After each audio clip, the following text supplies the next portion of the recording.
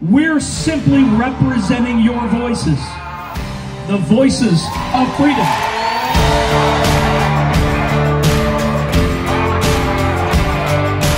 This is about much more than a virus. This is about controlling you. That's what this is about. And we say no, we will not be controlled any longer. We will tell going anywhere. Our movement will continue to make sure our legislature hears your voice. The only thing that is being spread here today is freedom. Your freedom. Freedom of speech is about we the people. Freedom of assembly is about we the people.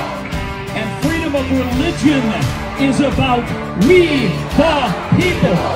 We the people. We will not consent. We are standing up